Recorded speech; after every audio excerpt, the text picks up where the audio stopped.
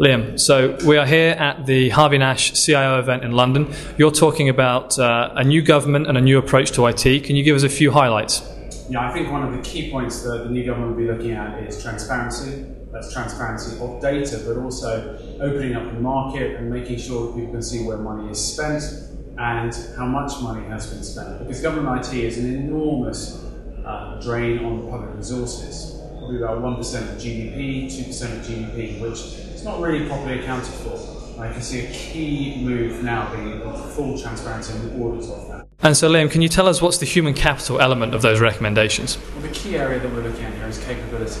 We really feel that uh, too much has been outsourced, too much has gone to uh, large and complex projects, and we need to make government IT work together and make it simpler. And a lot of that requires having the right people in the roles to provide leadership in government IT. One of our key points is that we want to have a more uh, powerful and more effective CIO cadre within government, which allows people to take the decisions and really be masters of their own destiny or masters of our destiny as we approach these problems.